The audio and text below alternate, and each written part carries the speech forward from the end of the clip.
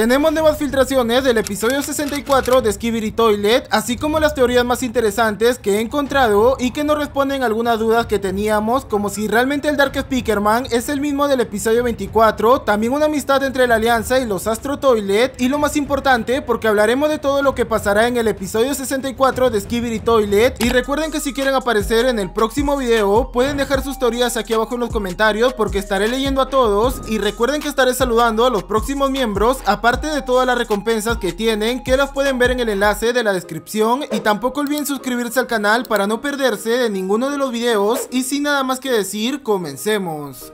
Comencemos hablando del Dark Speakerman, que en el último video vi que en los comentarios tenían varias teorías sobre quién era realmente este personaje, y lo último que dije sobre esto es que el Dark Speakerman y el Speakerman del episodio 24 no eran las mismas personas por tres razones, y la primera de estas es que no son del mismo tamaño, además tampoco tenían el mismo aspecto físico porque habían detalles que no eran los mismos, y la última de todas, que es de las más importantes, porque no tienen la misma energía. Por ejemplo, notamos que este Speakerman está bailando, que es algo normal que siempre hacen ellos, en cambio el Dark Speakerman es mucho más frío porque inclusive ni siquiera ayuda a levantar al cameraman POV cuando lo necesita. Y posiblemente si estemos hablando de la misma persona y que el Speakerman del episodio 24 es el mismo Dark Speakerman del episodio 63. Y para confirmar esto, una de las grandes diferencias que tenían era la distinta energía que mostraban y esto más que nada es porque el Speakerman que vemos ahora ha sido entrenado para poder estar al frente, que es algo que vimos cuando apareció el Skibidi Toilet con cuchillas y saltó sin pensar para matarlo y al momento que recibió todo este entrenamiento sufrió grandes cambios y no solo hablo de los cambios de ánimo sino también cambios o mejoras tecnológicas y recordemos que todos los agentes son cyborg por lo que son mitad máquina y humano y lo notamos mejor en el episodio 62 cuando el híbrido toilet partió en dos a un cameraman y notamos que por la mitad salían chispas que es la parte robótica y por la otra sangraba que esta sería la parte humana. Y es por eso que al momento de ser mejorado tuvieron que reemplazar partes humanas por partes robóticas y esto obviamente haría que la gente pierda sus emociones y esto mismo pasó con la cámara woman porque si bien nunca hemos visto a alguien que se parezca a esta gente, sí pudimos ver a alguien de su misma especie en el episodio 29 y al igual que el Speakerman, a esta gente se le notaba bastante alegre, que supongo que todas las cámara woman tienen la misma energía, pero en el episodio 52 pudimos ver claramente que fue modificada robóticamente y obtuvo un arpón en la espalda y junto con esto su actitud cambió bastante a la primera vez que la vimos porque ahora se le notaba más fría y lo mismo habría sucedido con el Dark Speakerman porque habría sufrido varias modificaciones robóticas y esto haría que sus emociones desaparezcan por completo y ahora sea más frío con sus compañeros de la alianza que lo demostró en el último episodio cuando el cameraman POV le pidió ayuda para levantarse después de haber sido impactado por un misil, cosa que él seguramente había visto y aún así no quiso ayudarlo a levantarse. Otra de las diferencias que les hablé al inicio que tenían los Speakerman era el tamaño y algunos detalles de su apariencia, pero estos también son producto de las modificaciones robóticas y estas teorías que les acabo de decir la verdad tienen mucho sentido, pero todavía quedan algunas dudas como por qué si el Dark Speakerman ha perdido sus emociones, por qué el Speaker Woman aún las tiene, y esto seguramente porque el Speaker Woman no ha sido modificada al nivel del Dark Speakerman y la más grande diferencia que hay entre ellos es la mochila que cada uno lleva, porque la del Speaker Woman es una simple mochila que seguramente aumenta el ruido de las bocinas, mientras que la del Dark Speakerman es un jetpack muy distinto a lo demás, que un dato curioso sobre esto es que este jetpack es el primero de su tipo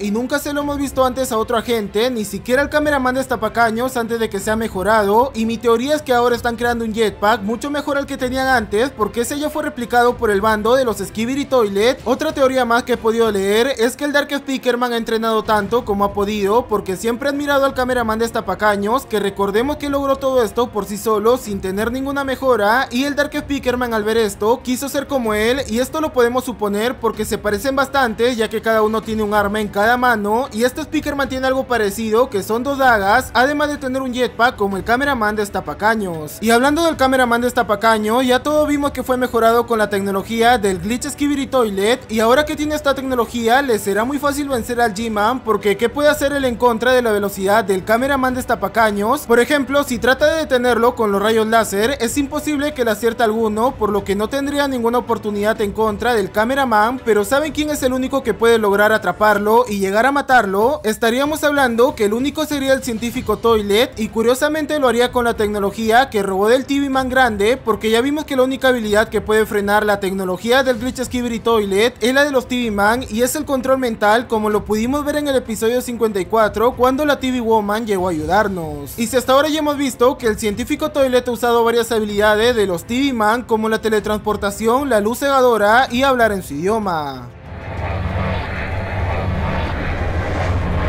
Así que dudo mucho que no tenga la habilidad de control mental y con esto sí podría llegar a atrapar al cameraman destapacaño mejorado y poder lograr vencerlo. Otro dato interesante sobre el cameraman destapacaño mejorado es que sus destapacaños siguen siendo los mismos y no han recibido ninguna mejora y el único uso que tienen es de llamar la atención del enemigo como vimos que hizo con el híbrido Toilet. Y como le dije al inicio del video, parece que los Astro Toilet y la Alianza se han unido para vencer al bando de los Skibidi Toilet y esto que acabo de decir no tendría mucho sentido si no fuera porque al inicio del episodio podemos ver uno de los brazos metálicos del Astro Toilet que usó para tratar de controlar la mente del G-Man y sería esta que vemos en el piso. Y mi teoría es que los Astro Toilet buscaron refugio en algún lugar cercano y llegaron hasta esta fortaleza de la Alianza que recordemos que las locaciones de los últimos episodios quedan relativamente cerca si no esto no tendría sentido. Y estaríamos viendo este brazo tirado en el piso porque seguramente la Alianza accedió a repararlos con la condición que ayuden a vencer al G-Man y al científico Toilet que justamente es lo que ellos quieren y seguramente no solo sean reparados, sino que también mejoren su tecnología y sean de más ayuda para la batalla en contra de los Skibidi Toilet que no van a tardar mucho en llegar a este lugar porque como le dije en el episodio pasado, hasta ahora ya hemos visto al híbrido Toilet que es el mismo del episodio anterior porque lleva los audífonos que solo lo usan cuando están cerca del científico Toilet, al igual que los helicópteros Toilet que vimos en este episodio y el último Skibidi Toilet que sería el bombardero que si se preguntan si es el mismo porque no lleva audífonos, en el episodio pasado tampoco los tenían, así que siguen siendo los mismos Skibidi Toilet que vimos en el episodio 62. Y la razón del por qué ellos llegaron antes es porque el científico debe estar preparando a mejores Skibidi Toilet para esta batalla, porque al parecer es de las más importantes, y no solo eso, porque desde que vimos en el episodio 60 al G-Man que llegó herido de su última batalla, desde ese entonces no ha sido mejorado porque el científico Toilet estuvo presente en todas las batallas y no tuvo tiempo suficiente para añadirle alguna mejora, así que esta sería otra de las razones por la que está demorando tanto y si piensan que la alianza tiene la ventaja en esta pelea porque han recuperado al titán Speakerman y el cameraman de estapacaños ha sido mejorado, déjenme decirles que esto puede que no ocurra porque hay un detalle que estamos pasando por alto y es que los Skibidi Toilet al momento que vengan estarán equipados con audífonos para no sufrir con el ruido del científico Toilet pero la alianza no ha sido advertido sobre esto porque ningún cameraman salió vivo de la última pelea. Y la alianza no se queda atrás porque al momento que llegaron a la fortaleza vimos al titán cameraman como llevaba un arma que no habíamos visto antes y después que el esqueleto Toilet haya hecho que tenga que quitársela, lo han mejorado con una que al parecer sería mejor que la anterior y esto podría darles algún tipo de ventaja en la batalla entre la alianza y el bando de los Skibidi Toilet que promete ser una de las más largas que hemos visto hasta ahora y al igual que en el episodio 57, el siguiente episodio seguramente conste de dos partes, así que no olviden suscribirse porque estaré analizando los secretos de los siguientes episodios y nos vemos en uno próximo.